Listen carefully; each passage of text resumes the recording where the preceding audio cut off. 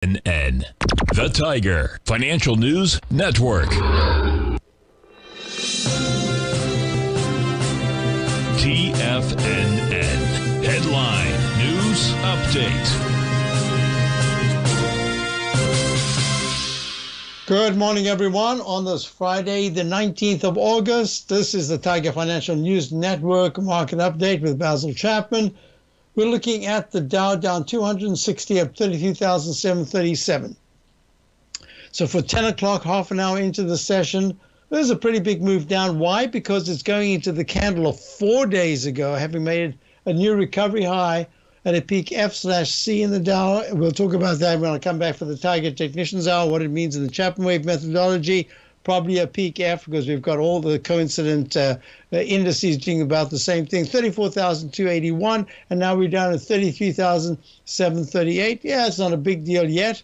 But what's most importantly, and we'll talk about that when I get back, is what the relationship of the daily to the weekly charts. The weekly charts have really improved. Looking at the S&P,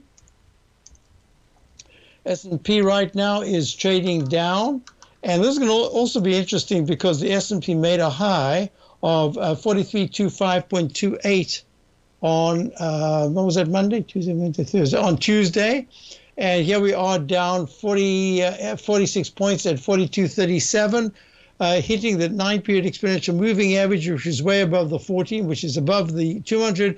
And that says that the whole area of 40, 4,200 to 4,190, that's going to be key over the next uh, three, four sessions. We'll see what happens there. Looking at the QQQ, uh, QQQ, which actually went right to in a leg G in a doji candle turnaround with a silent doji candle the next day.